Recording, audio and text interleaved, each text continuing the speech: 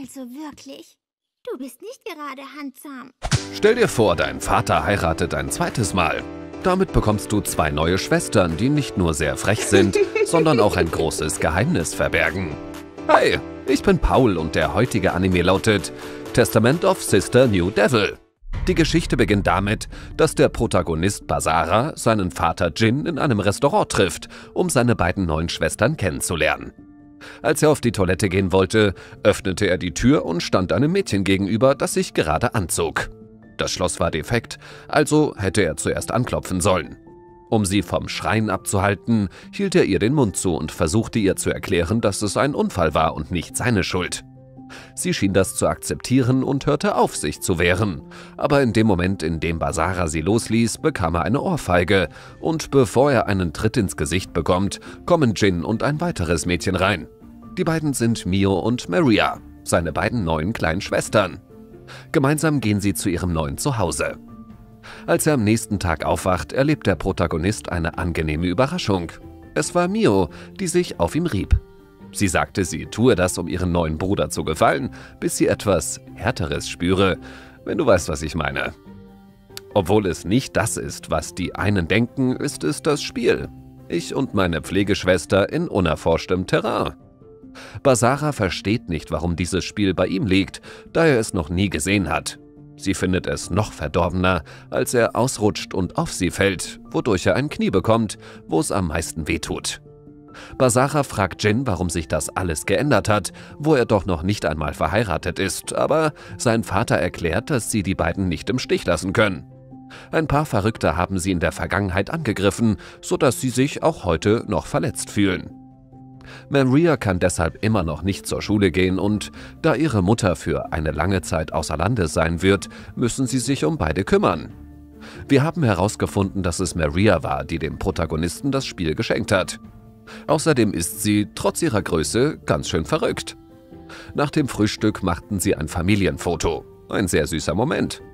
Als sie vom Markt zurückkamen, wurde Mio von einigen angegriffen und schon kommt Basara an, der einem von ihnen das Fahrrad ins Gesicht hält und seine Schwester mitnimmt. Am Abend haben die beiden eine schöne Unterhaltung, bis sie nach Hause gehen. Jin musste gehen, da er als freiberuflicher Fotograf arbeitet. Er musste verreisen. Jetzt ist es Basaras Aufgabe, sich um seine Schwester zu kümmern. Aber als er nach Hause kam, passierte etwas Überraschendes. Im Wohnzimmer sitzend waren beide sehr seltsam, bis Mio ihn bat, die Wohnung zu verlassen und Maria ihn mit einem Zauberspruch schlug. Sie sind nicht einmal menschlich und enthüllen, dass Mio in Wirklichkeit die zukünftige Dämonenfürstin ist, während Maria ein Succubus in ihrer Dienstschaft ist. In dieser Welt gibt es Clans von Dämonen, Göttern und Helden. Sie haben vor, dieses Haus als ihre Operationsbasis zu nutzen. Die Ehe mit Jin war eine Lüge. Sie haben ihm diese Erinnerungen eingepflanzt und jetzt war Basara an der Reihe. Aber als sie Magie einsetzten, passierte nichts. Die Mädchen waren nicht die einzigen, die etwas zu verbergen hatten. In Wirklichkeit ist der Protagonist ein Held und mit seinem Schwert besiegt er sie leicht und schickt die beiden weg. Anscheinend hatte Basara große Schmerzen, als er seine Kräfte einsetzte und erinnerte sich an ein Trauma aus der Vergangenheit. Als er Jin anruft, erfahren wir, dass er bereits alles weiß. Er erklärt seinem Sohn die ganze Situation. Mio ist die einzige Tochter von Dämonenfürst Wilbert, dem einzigen Dämonenfürsten, der friedlich war und dem es gelang, die anderen Dämonen aufzuhalten und den langen Kampf gegen den Heldenclan zu beenden aber gleichzeitig standen diejenigen, die mit diesem Waffenstillstand nicht einverstanden waren, hinter seinem Thron, um es zu verhindern, dass sich die Bedrohung auf seine neugeborene Tochter auswirkt. Deshalb bat Wilbert seine Untergebenen in der Menschenwelt, sie als Tochter aufzuziehen. Vor etwa einem Jahr starb er schließlich und der jetzige Dämonenfürst, der den Thron für sich beanspruchte, hat es auf die große Macht abgesehen, die Mio von ihrem Vater geerbt hat. Im Grunde ist sie eine Schülerin, die plötzlich herausfand, dass sie die Erbin eines Dämonenlords ist. Und nun wollen einige andere sie töten und ihre Macht für sich selbst beanspruchen. Außerdem ist ihre Kraft noch nicht vollständig erwacht. Das heißt, sie ist noch zu schwach. Aus diesen Gründen beschließt Jin, ihr zu helfen. Er schickt etwas zu Basara, der so schnell wie möglich loszieht, um den beiden zu helfen, da sie von Dämonen angegriffen werden. Als Mio in den sicheren Tod zu stürzen drohte, kam Basara an und rettete sie und erledigte mit seinem Schwert das verbliebene Monster. Indem er sagte, er sei gekommen, um seine Familie zu retten. Als sie zu Hause ankommen, spricht der Protagonist mit Maria und verrät ihm, dass Jin bereits alles wusste. Mio wird krank und fällt im Bad in Ohnmacht. Also geht ihr Bruder zu Hilfe, wo die beiden sich unterhalten und zeigen, dass sie sich besser verstehen. Maria hat eine geniale Idee. Sie schließt mit Basara und Mio einen magischen Vertrag als Meister und Diener ab, der den Vorteil hat, dass sie ihre Gefühle teilen und immer wissen, wo der andere ist. Aber anders als Mio dachte, wird Basara der Herr sein und um den Pakt zu schließen, muss sie seine Hand küssen. Mio gefällt der Gedanke nicht besonders, zumal sie, um ihn rückgängig zu machen, auf den nächsten Vollmond warten müssen, denn der Vertrag gilt nur bei dieser Gelegenheit. Durch ihre Verspätung verschwindet jedoch das Symbol auf der Hand der Protagonistin und ein Fluch trifft sie. Maria erklärt die Situation. Das Hauptziel des Paktes ist es, die Loyalität zwischen Herr und Diener zu garantieren. Wenn der Diener also seinen Herrn verrät oder ihm nicht gehorcht, wird der Fluch aktiviert. Als Succubus hat sie ihre Magie auf den Vertrag angewendet. Mio leidet unter dem Fluch der Succubi, das heißt, sie lebt sich immer mehr aus und empfindet viel Lust. Um den Fluch zu entschärfen, muss Basara sie dazu bringen, sich ihm zu unterwerfen, was der Führer mit großer Freude tut. Neunmal. Ganze neunmal. Das sieht Lady Mio ähnlich. Sie hat mehr Ausdauer, als ich dachte. Am nächsten Tag gehen Mio und Basara zur Schule, während Mio mit einer falschen Identität vorgibt, volljährig zu sein, damit sie nicht lernen muss. Der Protagonist stellt sich in seiner neuen Klasse vor, in der auch seine Schwester ist. Der Lehrer bittet Yuki, die Klassensprecherin, ihn in der Schule herumzuführen, die ihn plötzlich umarmt. Sie ist seine Jugendfreundin und diese Zuneigung macht Mio so eifersüchtig, dass sie schließlich enthüllt, dass die beiden zusammenleben, was dazu führt, dass alle Männer der Schule ihn hassen, denn die beiden Mädchen sind die Göttinnen der Schule. Und da er mit beiden Beziehungen hat, betrachten die Schüler ihn als Feind. Yahiro, ein Mitschüler, beschloss mit Basara zu reden. Er war derjenige, der ihm die ganze Situation erklärt hat und wie er letztes Jahr umgezogen ist. Er versteht, wie sich der Protagonist fühlt und sagt auch, dass er sich entschlossen hat, mit ihm zu gehen, weil er es lustig findet, mit jemandem zusammen zu sein, der so viel Glück hat, dass zwei hübsche Mädchen ihn haben wollen. Als er mit seinen Schwestern nach Hause gehen will, ruft Yuki ihn an, um ein Gespräch unter vier Augen zu führen. In einem Café sagt sie Basara, dass er sich nicht mehr mit Mio einlassen soll, da sie vorrangig beobachtet wird und dass sie vom Clan des Helden geschickt wurde, um auf sie aufzupassen. Maria und Mio waren in dem Lokal und haben das ganze Gespräch mitgehört. Der Protagonist sagt, dass er die ganze Geschichte über sie kennt und beschlossen hat, sie zu beschützen. Auch wenn sie nicht mehr die Kraft hat, die sie früher hatte. Und wenn der Heldenclan nicht für sie kämpfen will, wird er es tun. Als die beiden Neugierigen das hören, verlassen sie den Ort und Mio hat ein schlechtes Gewissen, weil sie Basara so viel Mühe machen musste. Im Gespräch wird klar, dass es in der Vergangenheit des Protagonisten etwas sehr Mysteriöses gibt. Yuki sagt, dass es nicht seine Schuld war und dass er sie selbst gerettet hat. Außerhalb des Cafés tötet sie mit Leichtigkeit einen Dämonen und sagt, dass das daran liegt, dass Mio immer mächtiger wird und immer mehr von ihnen auftauchen. Wenn ihre Existenz zu einer Gefahr für die Umgebung wird, wird sie auf die Eliminierungsliste gesetzt und wenn es soweit kommt, wird Yuki keine Gnade zeigen. Zu Hause erklärt er ihr die Situation und als Dankeschön für seine Hilfe beschließen sie, dem Protagonisten ein Bad zu geben. Das ist der Moment der Freude für viele, der berühmte Fanservice. In Wirklichkeit haben wir herausgefunden, dass das meiste, was passiert ist, ein Traum war. Und als er aufwachte, lag Maria in seinem Bett. Also. Ach, nur so nebenbei, Basara. Hä? Wie wäre es, wenn du mal so langsam deine Hand von meinem Hintern nehmen würdest? Hä? Nach einer albernen Unterhaltung über das, was er im Traum getan hat, wird Basara ernst und sagt, dass er etwas mit ihr besprechen möchte. Im Klassenzimmer erzählt Yahiro, dass die Lehrerin Yuki und Basara gebeten hat, gemeinsam eine Aufgabe zu organisieren. Als er Mio sagen wollte, dass er sie allein lassen muss, wurde der Fluch aktiviert, weil sie ihm nicht gehorchen und mit den beiden zusammengehen wollte. In dem Moment, in dem er ihren Arm berührte, wurde sie ohnmächtig. Also brachte er sie in die Krankenstation, wo etwas Seltsames passierte. Die Krankenschwester sagt ihm, er solle nicht auf Quantität, sondern auf Qualität achten, um Verbündete zu gewinnen. Yahiro ruft Basara an und sagt, dass er die Aufgabe für ihn erledigen kann. Der Protagonist geht eine Flasche Wasser holen, während er mit Maria telefoniert. Basara findet seinen Freund und plötzlich gibt es einen Stromausfall.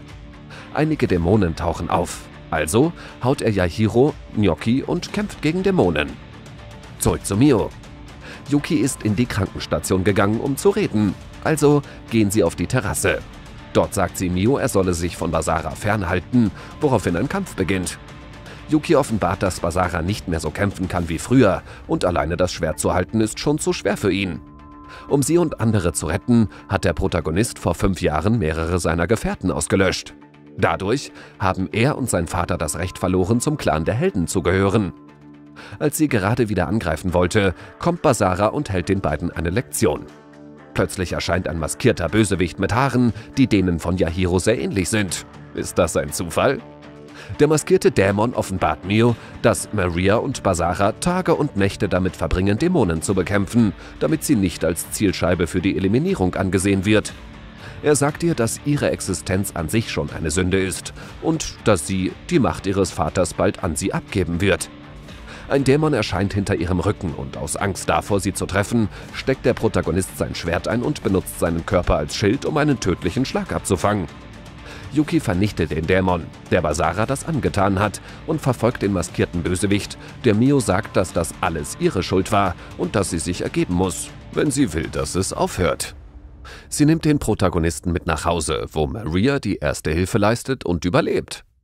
Sein Heilungsfaktor ist aufgrund des Trainings der Heldenclans hoch. Er erinnert sich an die Zeit, als er ein Kind war und das dämonische heilige Schwert gestohlen wurde.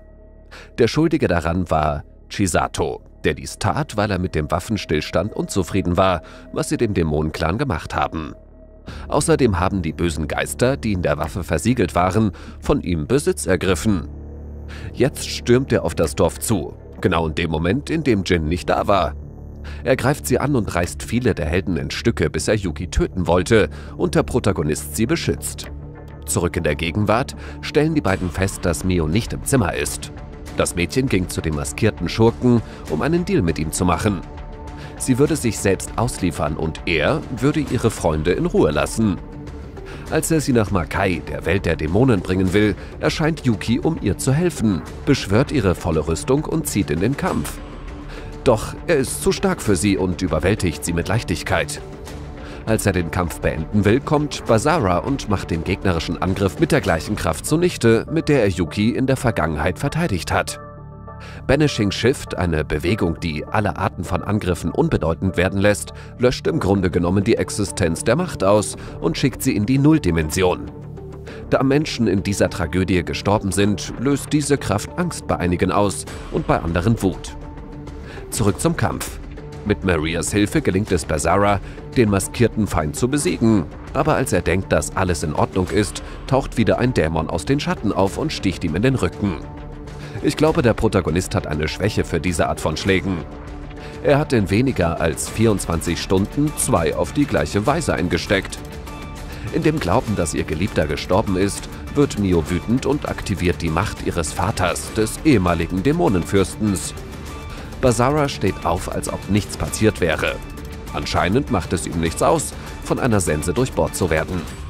Er versucht sie zu beruhigen und sagt, dass alles in Ordnung sei, aber es war zu spät und ihre Kraft war außer Kontrolle geraten. Aus Angst, die Menschen, die sie liebt, zu verletzen und die Welt zu zerstören, bittet sie ihn, sie zu töten, was er schnell ablehnt, da er ihr älterer Bruder ist und nicht zulassen wird, dass etwas Schlimmes passiert. Um Mio und den Rest der Menschen zu retten, setzt er eine perfekt kontrollierte Banishing Shift ein, mit der er die Wurzel der unkontrollierbaren Macht absorbiert und nur das beseitigt. Yuki geht zu ihrem Haus, um eine Medizin von ihrem Clan zu überbringen. Sie war sehr froh zu sehen, dass Bazara nun mit seiner Vergangenheit kämpfte und seine Wunde heilte. Zurück in der Schule steht Bazara auf der Terrasse und Yahiro zeigt ihm, dass ich recht hatte. Der geheimnisvolle maskierte Mann ist er. Basara macht einen Vorschlag. Er ist der Vertreter des aktuellen Dämonenfürsten, um Mio zu beobachten, und da er bei seiner Mission, sie nach Makai zu bringen, gescheitert ist, schicken sie, wenn sie es herausfinden, jemand Stärkeren. Da der Protagonist noch nicht so weit ist, will er nicht, dass das passiert. Die Abmachung lautet also wie folgt. Sie verraten nichts von seinem Versagen, was zu einer Bestrafung führen könnte. Und er setzt seine Arbeit als Beobachter wie gewohnt fort. Auch weil Basara ihm vertraut. Selbst als er die Chance hatte, ihn zu töten, hat er keine lebenswichtigen Organe getroffen. Bevor er geht, verrät Yahiro, wer der Dämon war, der Mios Eltern getötet hat. Er heißt Zolgea und war ihr früherer Wächter. Mio erscheint auf der Terrasse und beschließt, sich mit einem Kuss bei dem Protagonisten zu bedanken. Doch bevor das gelingt, taucht Yuki auf und hält sie auf, gefolgt von Maria, die sich ebenfalls in das Durcheinander mischt. Also ich hab da einen Vorschlag. Nimm dieses Würstchen und führe es zärtlich an Lady Mios Mund. Sonst geht's dir noch gut. Die Szene schneidet zu Jin, der an einem geheimnisvollen Ort mit jemandem telefoniert und ihm sagt, dass er Basara im Auge behalten soll, während er weit weg ist. Am nächsten Tag wacht der Protagonist mit Maria in der Bettdecke auf, die sie an ihn klammert und erhält dafür einen Schlag auf den Kopf. Später ereignet sich ein weiterer Unfall. Basara rutscht neben Mio aus und fällt in einer total anzüglichen Position hin, wofür er einen Blitzschlag auf den Kopf bekommt und denkt, dass jetzt nichts mehr passieren wird. Während er sein Bad nimmt, erscheint Yuki nackt, um ihm zu helfen. Mio kommt ins Bad und der Fluch beginnt. Um es zu deaktivieren, hat er sie in ihr Zimmer gebracht und sie dazu gebracht, naja, ihr wisst es alle. Ernsthaft, dieses Protagonistenglück ist etwas, das mir sehr viel Angst macht. Basara nimmt Yahiro mit in ein Restaurant, wo wir erfahren, dass der Vater des Protagonisten jemand sehr Starkes ist, der als der größte Feind der Dämonen gilt und als Kriegsgott verehrt wird. Er offenbart dem Protagonisten, dass die Vorgesetzten Verstärkung zur Beobachtung schicken, denn es besteht die Möglichkeit, dass Mio die Macht des alten Dämonenfürsten erweckt hat. Es wird uns offenbart, dass der Pakt zwischen Meister und Diener nicht nur dazu dient, dass sie wissen, wo jeder von ihnen ist. Er erhöht die Kampfkraft, wenn man bedenkt, wie sehr ihre Loyalität durch den Fluch gewachsen ist. Außerdem verhindert er nicht nur Verrat. Wenn der Diener oder die Dienerin von einem Feind gefangen genommen wird, wird der Fluch maximal aktiviert, was in der Regel den Tod zur Folge hat. Chisato, die Ärztin und Lehrerin der Schule, ist gekommen, um mit den beiden zu Abend zu essen. Sie sagt, dass sie ein großer Fan von Fotos von Bazaras Vater ist und als er das Restaurant verlässt, fragt er nach den Dingen, über die die beiden gesprochen haben, zum Beispiel über Dämonen. Sie unterhalten sich noch ein wenig und sie verabschiedet sich von ihm mit einem Kuss auf die Stirn, wobei sie ihre Hand berührt und einen alten Zauberspruch ihres Dorfes aufsagt. Yahiro in seiner dämonischen Gestalt trifft sich mit zwei Dämonen. Volga, ein starker Mann, der es bereits auf Mio abgesehen hat, und Zest, die viel klüger zu sein scheint und mit ihm zusammenarbeiten wird. Zu Hause stellt Basara Maria wegen des Meister-Diener-Vertrags zur Rede. Obwohl er gefährlich ist, war er die beste Option, um Mio in Sicherheit zu bringen. Bei dem Versuch herauszufinden, wie man die Loyalität und die Stärke der beiden erhöhen kann, hatte der Succubus eine Idee. Sie fingen an, zusammen das Spiel zu spielen, das sie ihm gegeben hatte, um neue Ideen zu bekommen, wie man es abstellen könnte, wobei der Protagonist das schlimmstmögliche Ende bekommt. Schon nach kurzer Zeit nimmt er das Hauptmädchen mit ins Bett, bis Mio in den Raum kommt und diese Szene sieht und den kleinen Perversen mit Gewalt von dort entfernt. Lady Mio! Was ist? Lasst es mich! Lasst es mich erklären und ihr werdet verstehen! Vielleicht. Doch zuvor muss ich dich noch einmal unter vier Augen sprechen, Maria. In der Nähe wollte ein Dämon gerade eine wehrlose Frau angreifen. Doch bevor das passierte, erschienen einige Helden und retteten sie. Bazaras Befürchtung wurde wahr. Der Clan der Helden änderte Mios Status von Beobachtung zu Eliminierung. Auf Yukis Bitte hin geht der Protagonist mit ihr auf ein Date und in einem Bekleidungsgeschäft tauchen Mio und Maria auf, als würden sie ihn mit einem solchen Mädchen allein lassen. Yuki bittet Mio, ihr bei der Auswahl neuer Kleidung zu helfen, was sehr gut funktioniert, und sie sieht hübscher aus. An der Kasse, als sie gerade bezahlen will, wird sie von einem Mädchen angesprochen, das daraufhin verschwindet. Bezara ruft mehrmals an, ohne dass sie antwortet. Plötzlich entsteht eine Barriere und ein Dämon greift sie an. Es ist Volga, der sich mit ihnen vergnügen will. In dem Glauben, dass er der Schuldige für Yukis Verschwinden ist, greift Bezara ihn schnell an, ohne Schaden anzurichten. Der Dämon ist unglaublich stark und kann den dreien leicht widerstehen. Als er sich jedoch auf einen Superschlag vorbereitet, wurde er getroffen, eingefroren und kurz darauf zerstört. Das war Besaras ehemaliger Begleiter Takashi, der mit der legendären Waffe Bayako das Monster besiegte. Außer ihm waren noch zwei weitere Helden anwesend. Shiba, der anscheinend der älteste und stärkste dort ist, und Kurumi, Yukis jüngste Schwester, die sie auch im Bekleidungsgeschäft angerufen hat. Tatsächlich war sie mit ihnen dort. Die Barriere, die der Dämon errichtet hatte, war zu schwach, um einem Kampf zwischen ihnen standzuhalten. Und da sie keine Zerstörung in der Stadt anrichten wollen, beschließen sie, eine Vereinbarung zu treffen. In zwei Wochen werden sie einen 3 gegen 3 Kampf austragen. Drei. Basara, Maria und Mio gegen Takashi, Kurumi und Yuki. Ja, genau, du hast richtig gehört. Sie wird gegen den Protagonisten kämpfen. Was ist mit den anderen? Wahrscheinlich ist er zu stark und der Autor wollte ihn jetzt nicht einsetzen, mit der Ausrede, dass er auf Befehle des Clans nur der Beobachter sein wird.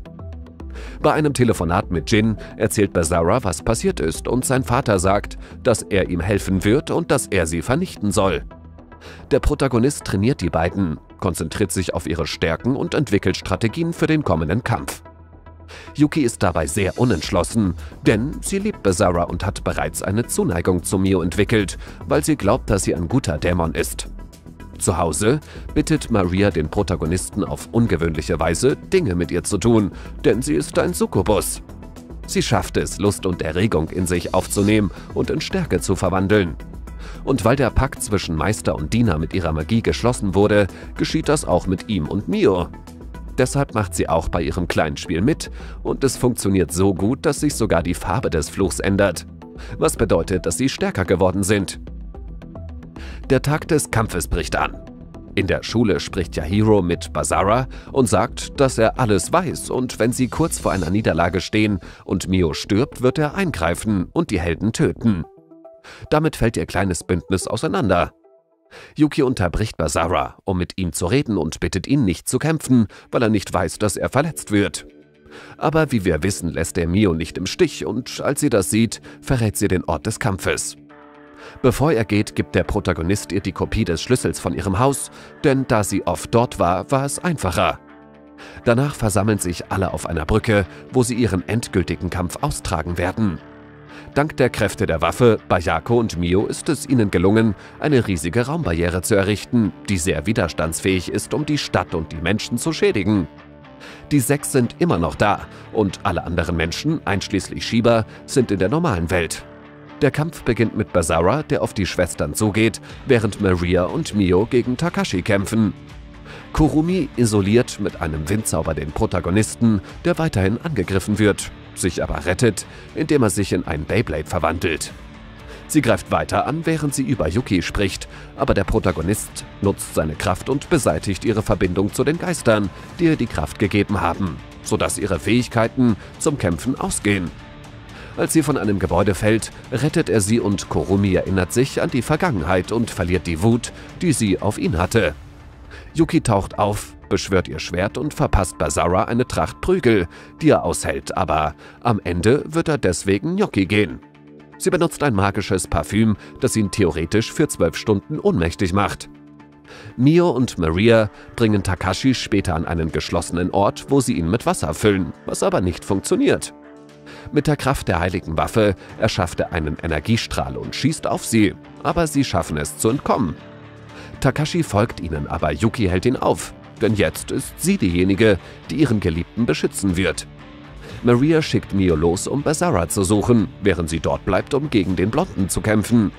Als sie sieht, dass Basara Albträume hat, versteht Kurumi, dass sie nicht die einzigen sind, die unter dem leiden, was vor fünf Jahren passiert ist. Mio taucht auf, um den Schläfer zu wecken, was theoretisch nicht funktionieren sollte, aber die Macht der Liebe und des Protagonisten ist zu stark.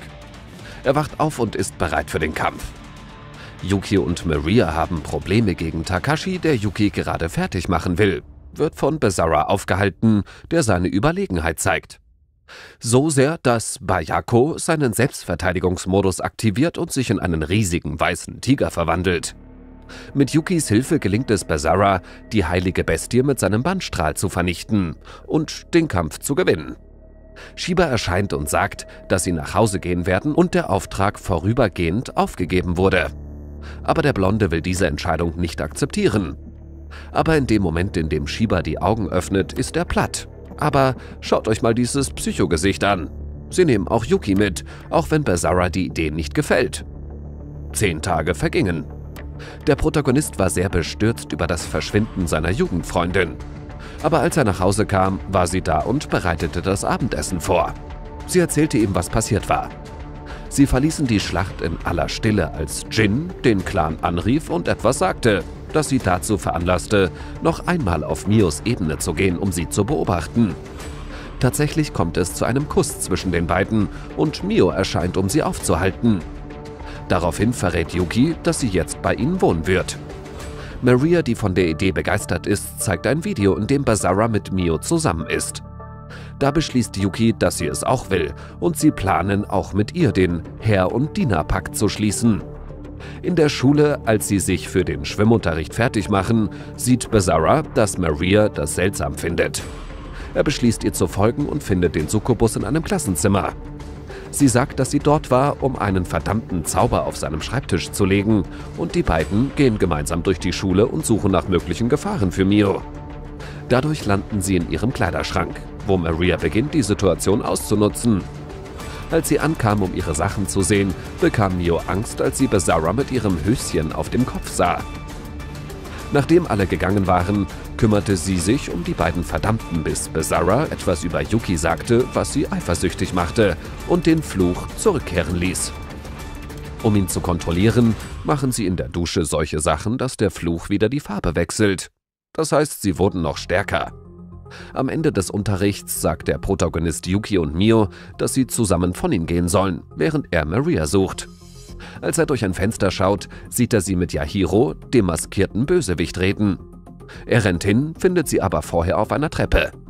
Sie sagt, sie habe sich auf der Suche nach Paaren beim Wukowu Kowu verlaufen. Dann fand sie den Jungen in Uniform und fragte ihn nach dem Weg, wie sie die Schule verlassen kann. Danach gehen beide Hand in Hand nach Hause.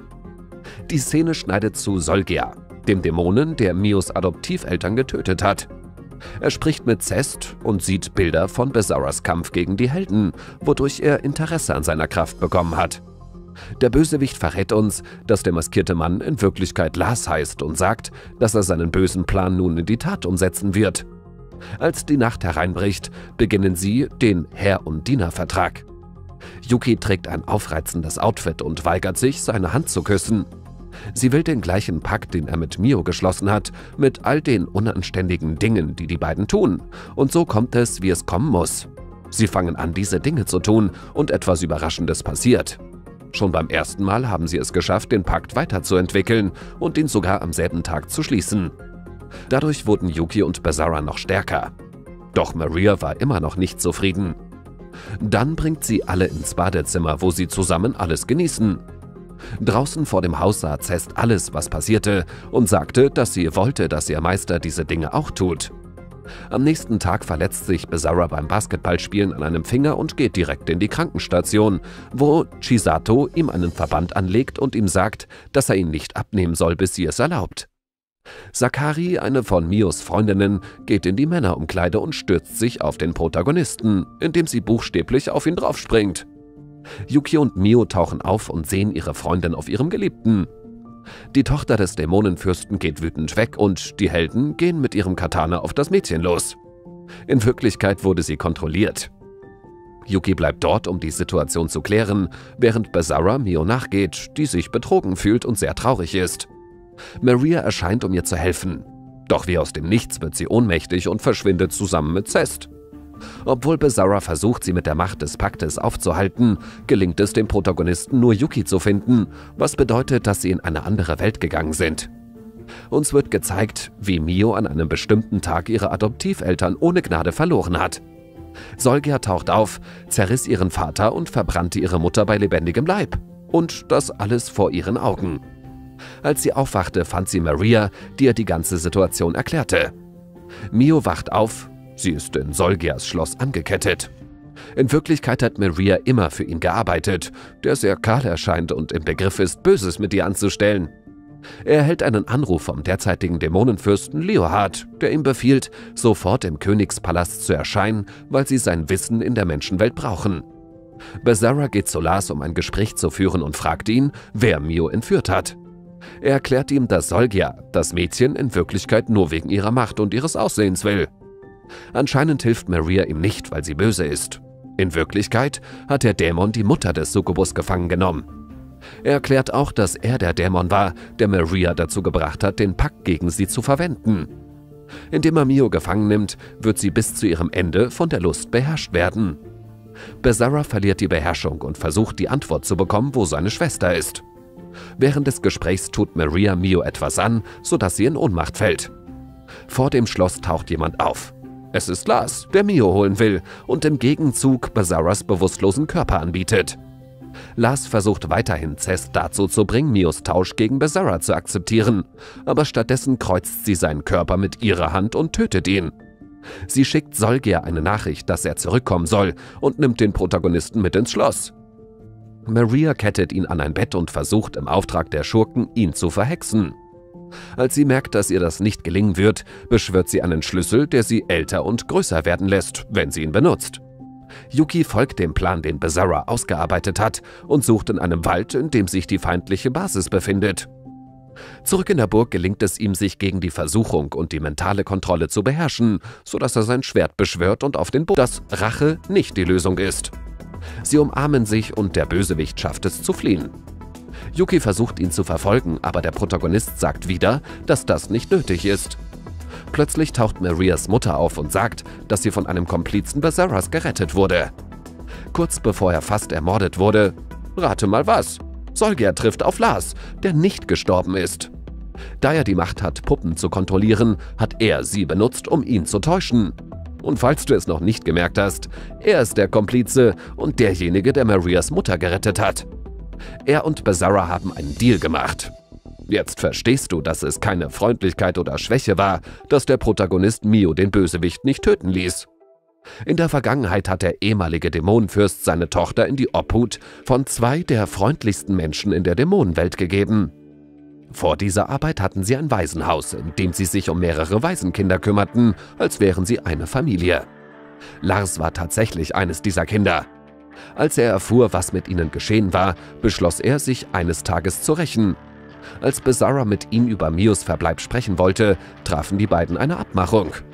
Er würde dem Protagonisten helfen und im Gegenzug Solger eigenhändig töten.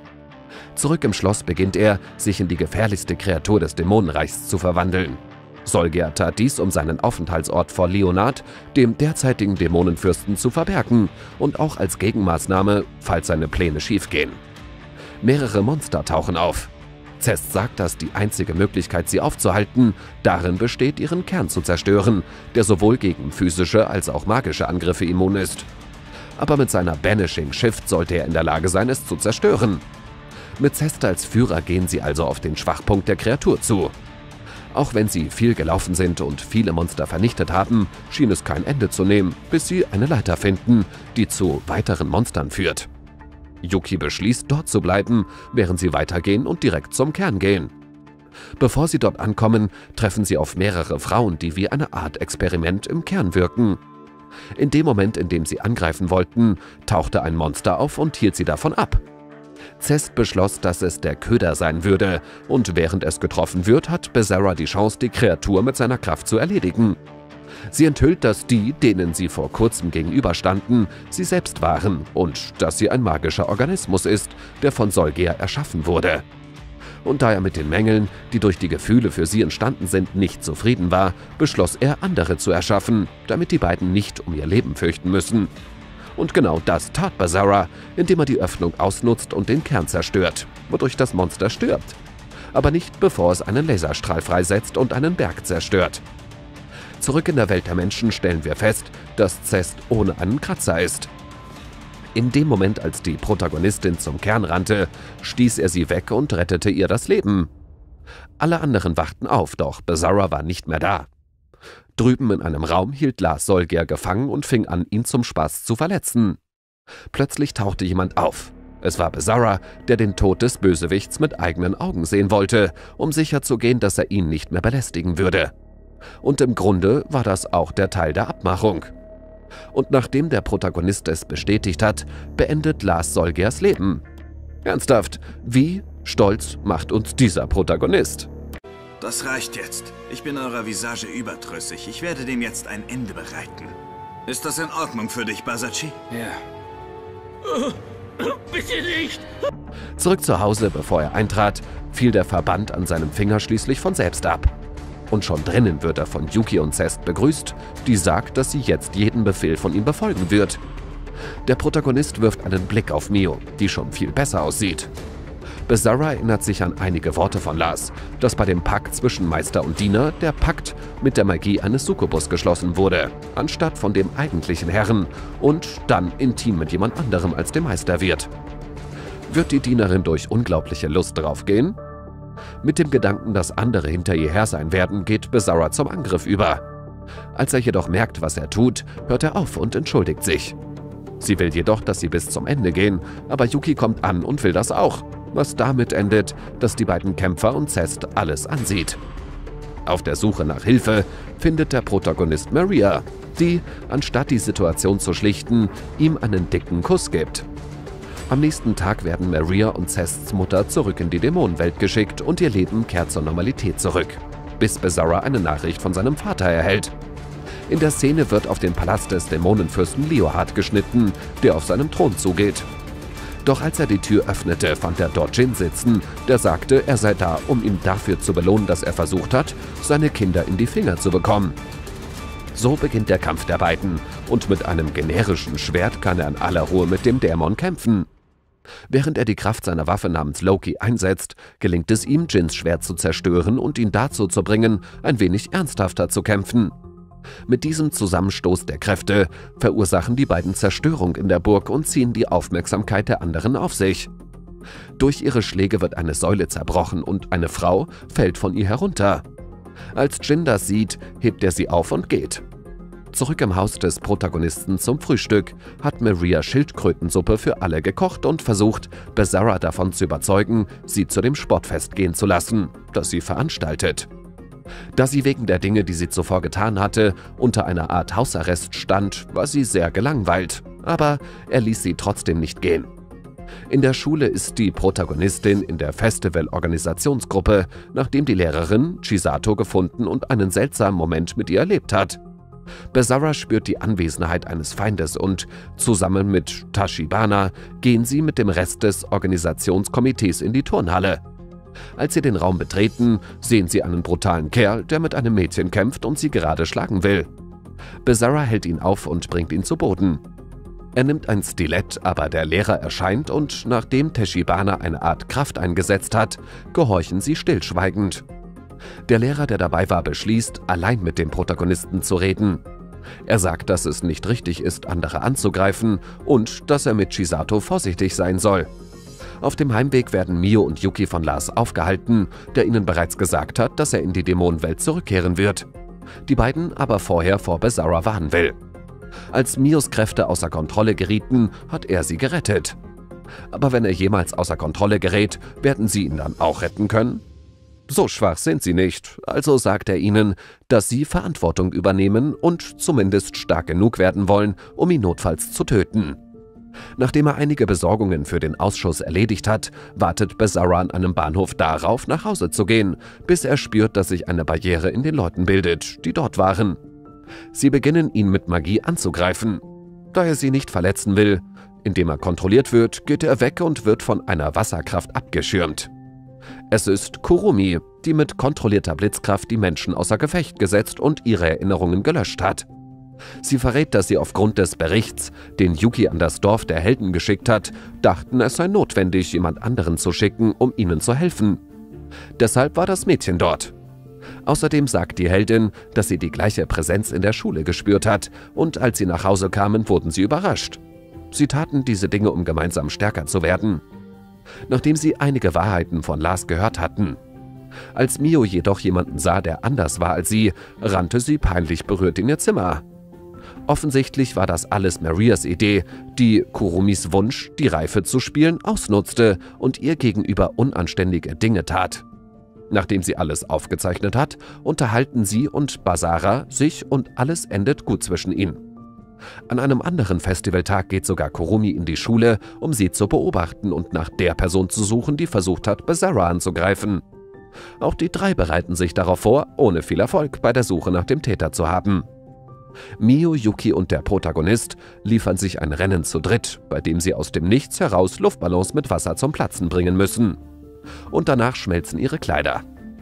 Ja, das erscheint sehr seltsam und aus heiterem Himmel. Aber beruhig dich.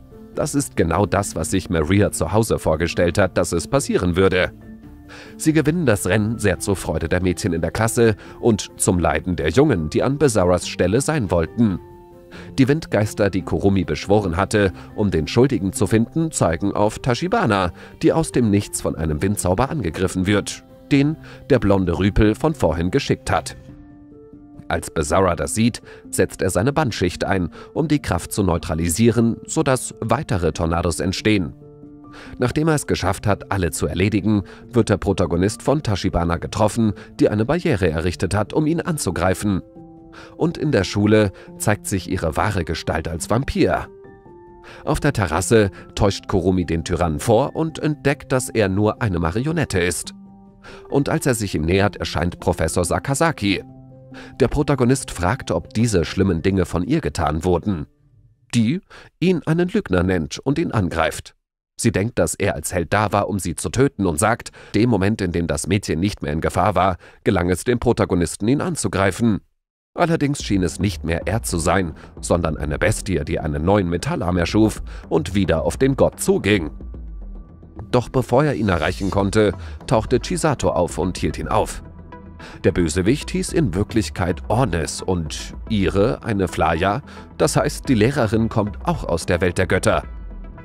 Er hegt einen Groll gegen Bizarra, weil sie ihn so sehr mag, weshalb sie ihn töten wollte. Sie akzeptiert jedoch nicht, dass man schlecht über den Protagonisten spricht, weil in ihren Adern das Blut einer bestimmten Frau fließt. Chisato sagt auch, dass sie alles tun wird, um ihn zu beschützen, egal wer der Feind ist. Onis beschwört eine Waffe und bereitet sich darauf vor, Basara zu treffen. Sie enthüllt, dass sie den größten Teil seiner Macht versiegelt hat, um vom Himmel in die Menschenwelt hinabzusteigen, damit sie ihn nicht aufhalten kann. Die Göttin verrät jedoch, dass es andere gab, die sie unterstützt haben, sodass sie ihre wahre Macht nur in einem Fall einsetzen kann. Wenn es darum geht, Basara zu schützen, Ihr Siegel der Kräfte wird vorübergehend entfernt und aus Wut darüber, dass er den Protagonisten dazu gebracht hat, seine Waffe auf sie zu richten, tötet sie ihn einfach. Sie ändert seine Erinnerungen, indem sie Ornes Seele an das Schwert übergibt und den Protagonisten in den Normalzustand zurückversetzt. Nach dem Endplan ist, ihn zu besiegen, indem sie eine neue Welt für die Dämonen erschaffen. Sie wollten jedoch einen Vorwand für einen solch rücksichtslosen Angriff. Also tauchte Lars auf und gab ihnen, was sie wollten, er sagt, dass Mio und die anderen im Auftrag der gemäßigten Fraktion in die Dämonenwelt kommen und damit haben sie, was sie brauchen. Zurück im Haus des Protagonisten teilt Rukia allen mit, dass sie die Gründe nicht sagen kann und dass Ramusas sprechen wird, sobald sie ankommen. Das ist der Anführer der gemäßigten Fraktion, Wilberts älterer Bruder, Mios Onkel. Trotz der Tatsache, dass sie keine Information haben, beschließen sie, sich ihr anzuschließen und machen sich auf den Weg in die Dämonenwelt. Bazaras Gruppe kam in der Dämonenwelt an, aber es war nicht so, wie sie es sich vorgestellt hatten, sondern ein Ort, der ihrem Zuhause sehr ähnlich ist. Sie kamen in den Raum, in dem sie schlafen werden, der ganz staubig ist und so aussieht, als wären sie dort nicht sehr willkommen. Plötzlich taucht Zest in einem Dienstmädchen-Outfit auf. Sie serviert allen etwas zu essen, und während sie isst, erschienen Maria und Rukias Mutter auf Bezara. Anscheinend hat sie die Fähigkeit, sich durch einen Raumtunnel frei zu teleportieren und sie verrät, dass Zest in Wirklichkeit als ihr persönliches Dienstmädchen arbeitet. Sie haben Spaß, während Maria allein zum Zimmer ihrer Schwester geht, die sie für ihren Verrat bestrafen will, als sie sich mit Solger verbündete. Sie zieht sich aus und macht sich bereit. Doch als sie dorthin teleportiert wird, hält die Protagonistin Rukia auf. Aber sie musste trotzdem bestraft werden. Und das würde er tun, und da es sich hier um einen gottlosen Anime handelt, ist das die Zeit, die den perversen Fans am besten gefällt. Er fängt an, sie zu bestrafen, indem er mit ihr... Naja, ihr wisst es ja selbst, ne? Nebenbei bemerkt Rukia, dass jemand an der Tür herumschnüffelt. Es ist Kurumi, die sich ebenfalls auf ihr kleines Spiel einlässt. Als Bizarra in den Raum zurückkehrt, stößt er auf Claus, den ehemaligen Strategen von Dämonenfürst Wilbert. Er ist bestürzt darüber, dass Mio und ihre Freunde ein so schlechtes Zimmer gewählt haben, also beschließt er, sie in ein besseres Zimmer zu bringen und übergibt Ramusas Befehl, sie dort zu lassen. Während sie gehen, erzählt er ihnen von der Geschichte der gemäßigten Fraktion, die von Mios Onkel angeführt wird und aus der die meisten Leute bestehen, die ihrem Vater noch treu sind. Als sie sich der Treppe nähert, sind alle unten glücklich, weil sie glauben, dass die Erbin erschienen ist, um sie zu befehligen. Verkleidet treffen sie auf Noel, einen Dämon, der auf Klaus Befehl hin ihr Führer in der Stadt sein wird. Mio sagt, dass dies der Ort der Stadt ist, in der sie leben, sehr ähnlich ist, aber Yuki korrigiert sie, da diese Welt voller dämonischer Partikel ist, die die Kräfte der Helden im Vergleich zur menschlichen Welt um die Hälfte reduzieren. Während sie essen und sich über irgendetwas aufregen, geht Zest weg und draußen sehen wir, dass sie sich nicht würdig fühlt, in ihrer Nähe zu sein. Plötzlich versuchen einige böse aussehende Soldaten, ihr etwas anzutun. Aber nachdem sie einen Karren mit Blumen nach ihnen geworfen haben, erscheint der Protagonist und nimmt sie mit, wobei sie sich unterwegs den Knöchel verstaucht. Und unser Bre, der sie trägt, sagt ihr, dass sie besser auf sich aufpassen muss. Als sie zum Schloss zurückkehren, sehen sie, dass Ramusas von einer Mission zurückgekehrt ist und allein mit Claus erfährt Basara, dass er plant, Mios Macht zu entziehen.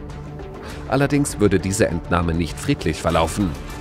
Die Schwester des Protagonisten würde schwer verletzt werden und wahrscheinlich sterben. In der Nacht sehen wir, dass Rukia Kurumi ein Power-Up gegeben hat, das Element der Dunkelheit, damit sie die stärksten Geister in der dämonischen Welt nutzen und allen nützlich sein kann. Als sie mit Noel duscht, findet Mio nach einigem Reden heraus, dass das Mädchen Lars kennt und dass sie beide zusammen im selben Waisenhaus aufgewachsen sind. Während er die Stadt von der Spitze seiner Burg aus betrachtet, erhält Ramusas einen kleinen Besuch von Basara. Dem Protagonisten gefällt sein Plan nicht, Mio die Macht zu nehmen, also wird er das nicht zulassen. Doch gerade als er sein Schwert ziehen wollte, tauchte Rukia in seinem Rücken auf. Um die Situation zu beruhigen, teleportierte sich die Mutter unserer Succubus dorthin und holte den Protagonisten mit den Worten, dass der Kampf zwischen den beiden niemanden nützen würde, von dort weg. Sie bringt ihn in eine riesige Badewanne, wo sie, um ihn zu beruhigen, ihn und Cest dazu bringen wird, den Pakt von Meister und Diener zu schließen. Und den Rest kennst du bereits. Und damit siehst du, wie wütend sie ist.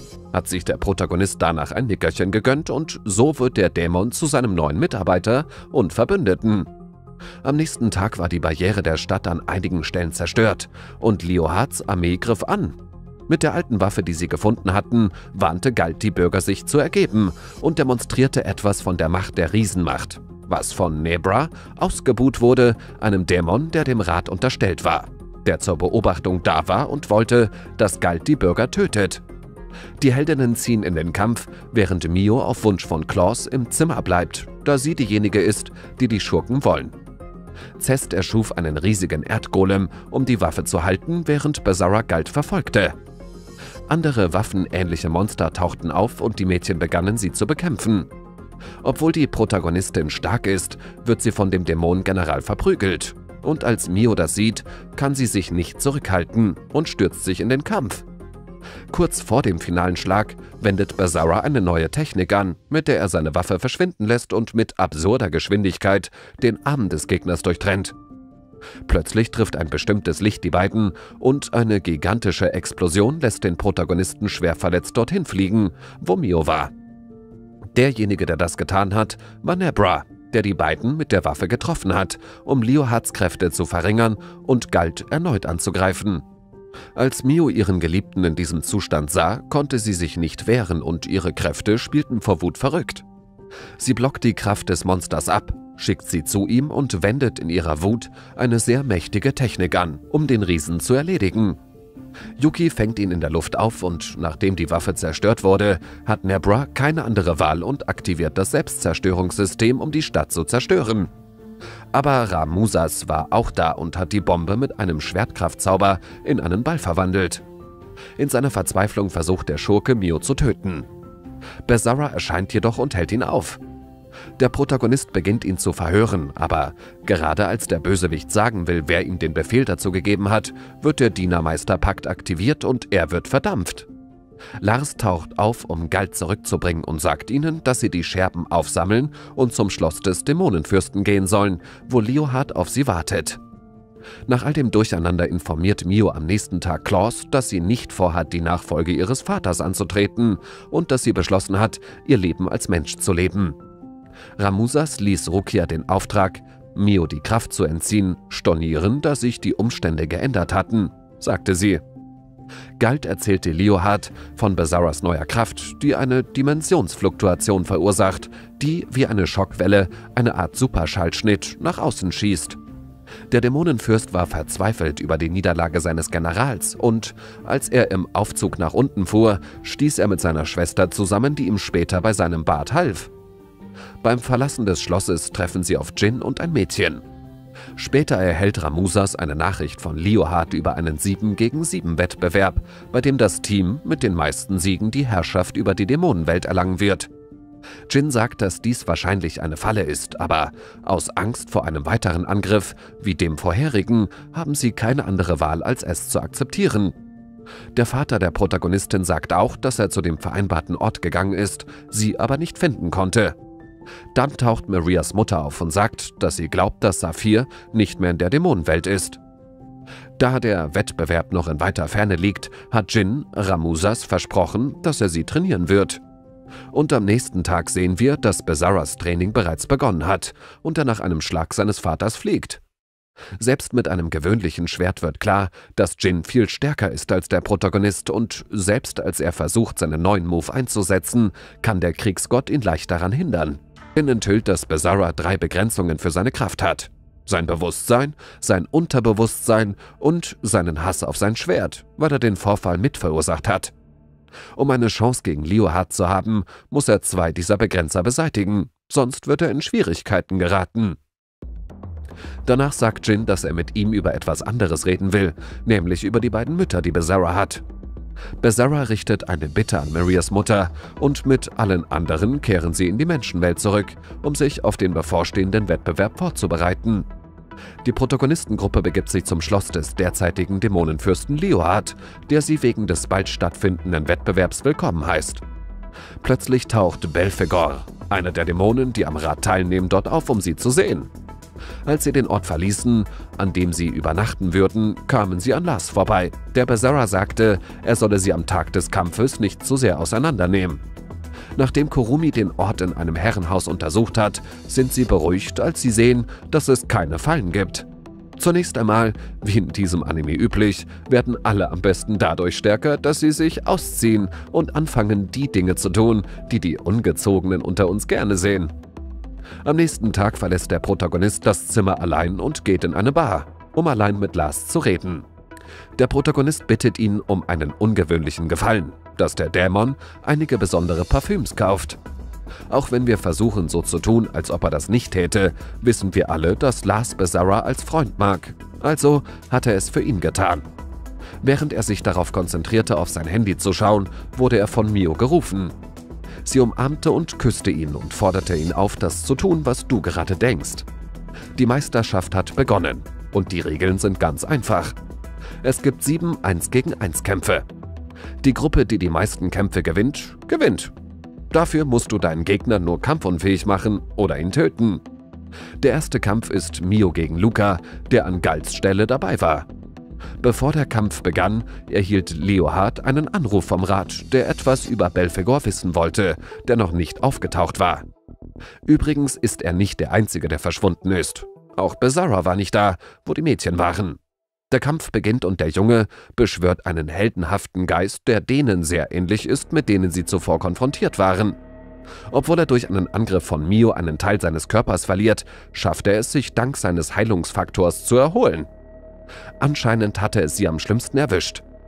Aber das Mädchen hat der Protagonistin schon viel Liebe entgegengebracht und zu diesem Zeitpunkt der Meisterschaft konnte sie bereits einen Großteil ihrer monströsen Kraft kontrollieren. So nutzt sie einen Teil davon, um die Riesen mit Leichtigkeit zu verdampfen, den ersten Kampf zu gewinnen und die Dämonen im Publikum schockiert zurückzulassen. Der zweite Kampf ist Maria gegen Lars, der gleich zu Beginn von dem Succubus angegriffen wird. Doch obwohl sie eine hervorragende Nahkämpferin ist, kommt sie nicht an den Energiebällen des maskierten Mannes vorbei. Indem sie auf den Boden schlägt, verschafft sie sich die Möglichkeit, ihre Verwandlung einzusetzen und nachdem ein Schlüssel in ihre Brust eingedrungen ist, wird sie viel größer, wenn du verstehst, was ich meine. Da sie schlau ist, greift Lars sie mitten in der Verwandlung an, aber sein Plan geht schief und er bekommt einen Schlag ins Gesicht. Aber auch wenn sie viel stärker wird, ist sie nicht gewohnt, so zu kämpfen. Also besiegt er sie ohne große Schwierigkeiten. Die Dämonen im Publikum, die Liohard treu sind, fordern den maskierten Mann auf, sie zu töten. Doch Lars wirft ihnen eine seiner Bälle entgegen und sagt, dass derjenige, den er tötet, nur seine Entscheidung ist. Damit endet der zweite Kampf und der Wettbewerb steht 1 zu 1. Der dritte Kampf ist Kurumi gegen Admirat, ein Mitglied des Rates und kurz bevor es losgeht, übergibt er der Heldin einen Gegenstand, der besagt, dass sie Basara als Geisel haben. Und wenn sie nicht will, dass er stirbt, dann muss sie verlieren. Der Kampf beginnt und wenn man an die Protagonistin denkt, kann sie nicht wirklich kämpfen. Als Leohard das sagt, fragt er sich, warum und sein stellvertretender General Belfegor geht zu den Ratsmitgliedern, um das zu untersuchen. Der Bösewicht beschwört ein riesiges Pferd herbei und überrennt die Heldin, um sie zu besiegen. Aber das reicht ihr nicht und er versucht sie zu töten. Doch Cess taucht auf und rettet ihrer Freundin das Leben. Und weil sie sich in einen Kampf einmischte, der noch nicht wirklich beendet war, entschieden die Ältesten des Rates, dass der vierte Kampf durch ihre Niederlage durch Disqualifikation entschieden wird. Somit steht es 3 zu 1 für die Bösen. Und mit einem weiteren Sieg werden die Schurken gewinnen. Die Szene schneidet zu Belphegor, der sich mit einem Dämonen vergnügt, bis der Protagonist erscheint, um ihn zu töten. Besara war jedoch derjenige, der verletzt wurde, da der Dämon es schaffte, ihn zu treten, bevor er selbst getroffen wurde. Der Protagonist schaffte es, das Schloss unauffällig zu betreten, indem er ein Parfüm mit dem Duft von Solgia benutzte. Plötzlich stand Besara auf und schnitt den Bösewicht mit seinem Sonic Cut. In Wirklichkeit ließ er sich treffen, um Belphegors Wachsamkeit zu verringern und tötete ihn ohne Gnade. Als Cest Kurumi in die Krankenstation brachte, sah Yuki, wie ein Gegenstand aus der Hand ihrer Schwester fiel. Da verstanden die beiden, was mit dem Kampf passiert war. Aber um zu verhindern, dass der Dämon in die Arena geht, um dort Unruhe zu stiften, ging die Heldin zu ihrem Kampf. Im Ratssaal wird Admirav dafür gelobt, dass er zwei Siege für sie errungen hat, und sie denken, wenn es so weitergeht, brauchen sie das nicht zu benutzen. Der Schurke entfesselt eine Macht an der Wand und sagt den anderen, dass er verwirrt war.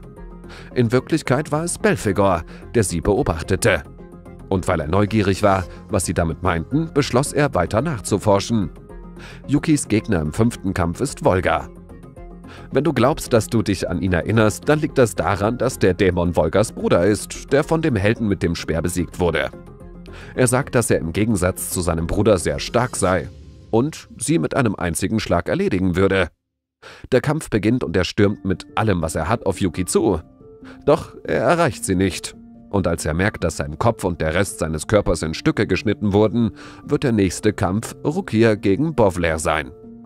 Da er jedoch den Rat untersuchte, erschien der stellvertretende General nicht in dem Kampf. Damit hat das Team der Guten einen weiteren Punkt gewonnen, sodass der Wettkampf unentschieden ausging. Ihr Gegner im Endkampf wird der Dämonenfürst Leohard sein und der Kandidat der Guten sollte Basara sein, der noch nicht eingetroffen ist. Allerdings hatte ich Zweifel an einer Sache. Warum haben sie guten Gewissens nicht Ramusas, den superstarken Vater des Protagonisten, in diesem Turnier kämpfen lassen? Das wäre ein leichter Sieg. Moment, ich glaube, das ist der Grund, warum sie ihn nicht eingesetzt haben. Als ob all die Tricks des Rates nicht schon genug wären. Der Kampf, der über die Zukunft der Dämonenwelt entschieden wird, findet auf dem Schlachtfeld des Dämonenkönigs Zandu statt und Rukia sagt, dass sie keine andere Wahl hat, als gegen Ramusas zu kämpfen weil diese Arena ein besonderer Ort ist, den nur diejenigen mit dem Blut des Dämonenkönigs betreten dürfen. Doch selbst nach dieser Rede und dem Erschrecken der Ratsältesten betrat Basara diesen Ort. Wir sehen, dass Jin in einer Hängematte liegt, seinen Sohn nicht kämpfen sieht und sagt, dass seine Chance bei 20% liegen. So beginnt der letzte Kampf.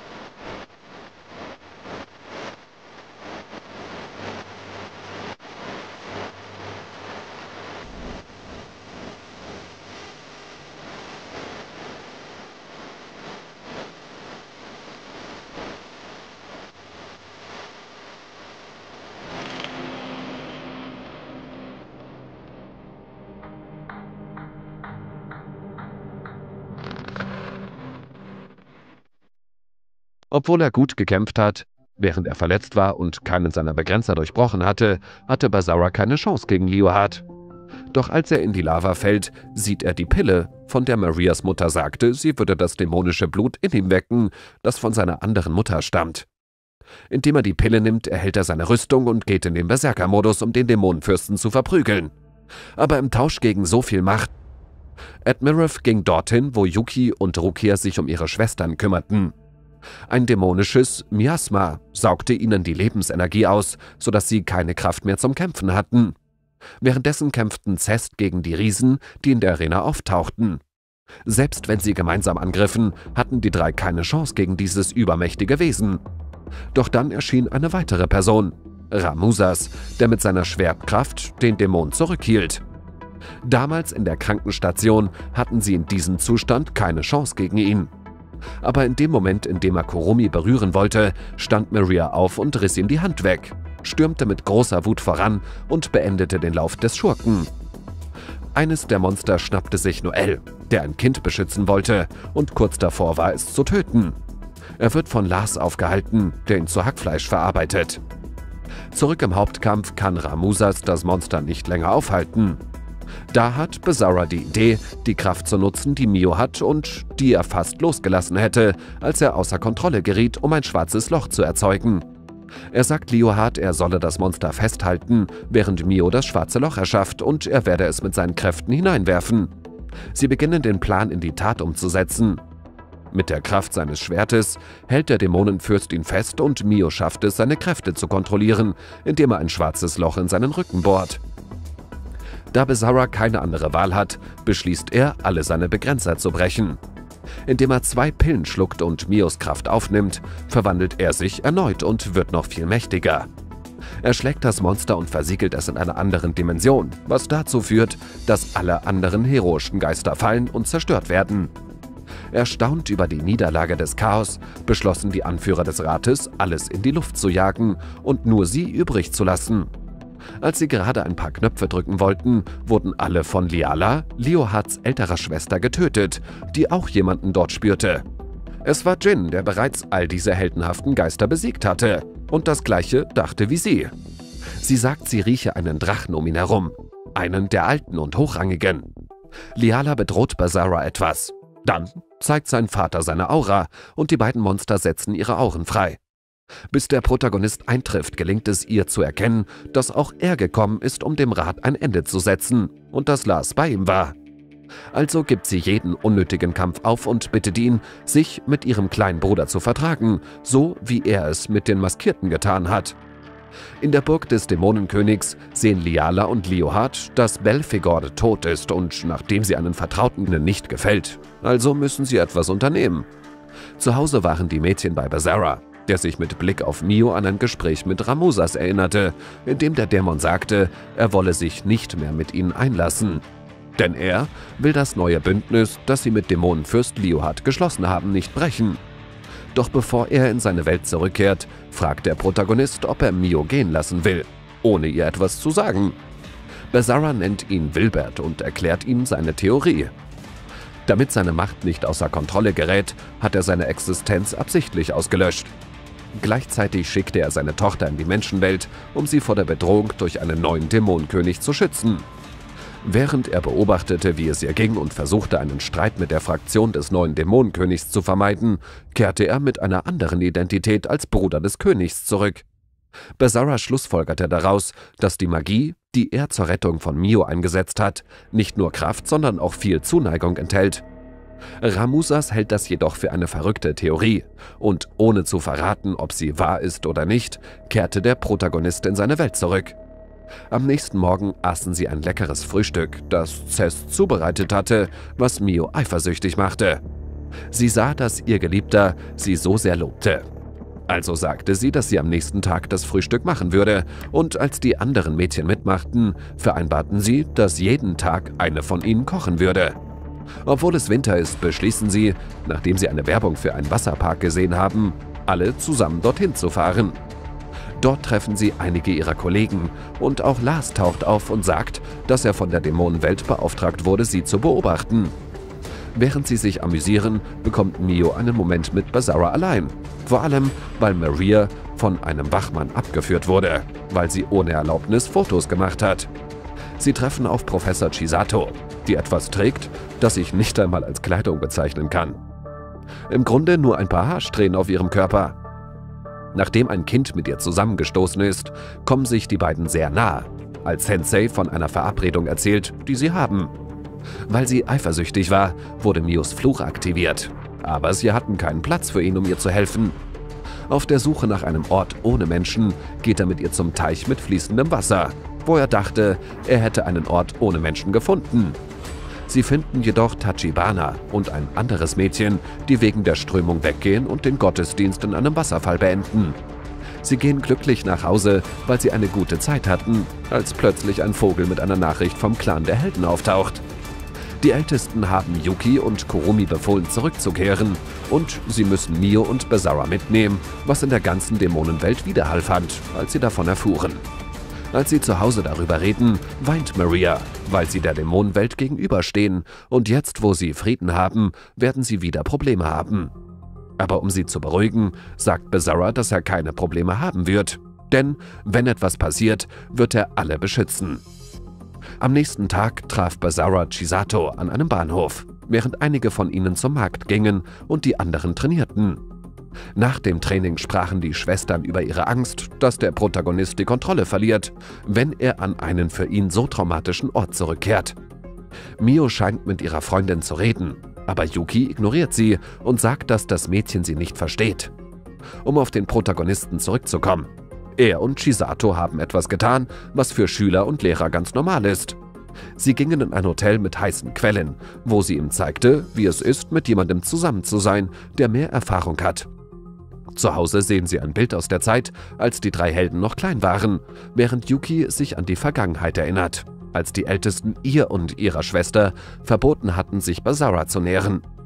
Mio geht zu ihr, um ihr zu zeigen, dass sie ihre Freundin ist und sie unterstützen wird, was auch immer nötig ist. Sie umarmen sich und Yuki nimmt ihre Hilfe an.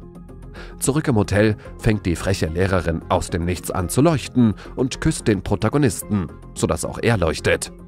Auf dem Heimweg denkt der Protagonist über seine Vergangenheit nach und fühlt sich schlecht, weil er sie noch einmal durchleben muss. Bis Lars auftaucht und sie gemeinsam in ein Restaurant gehen, um Fleisch zu essen.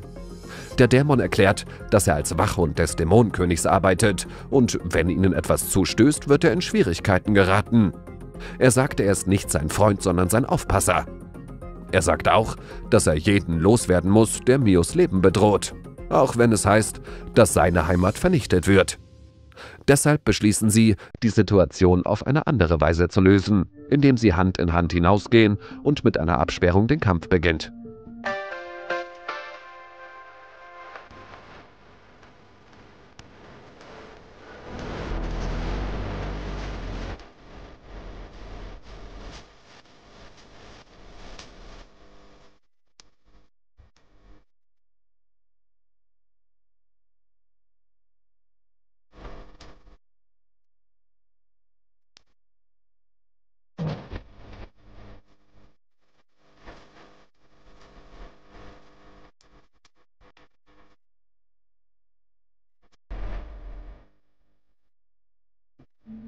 Mit seinen Kräften lässt Lars die Szene wie ein Dorf der Helden aussehen und beschwört ein Spiegelbild des Protagonisten herauf.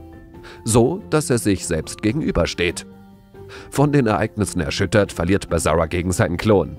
Aber weil er sich an die Menschen erinnert, die er beschützen will, setzt er sich für alles ein. Als er wieder zu sich kommt, besiegt er sein Spiegelbild und Lars wird später den Dämonen klarmachen, dass der Protagonist genug ist, um Mio zu beschützen. Zu Hause angekommen, haben sich alle Mädchen als Bräute verkleidet, um ihre Familienbande zu stärken.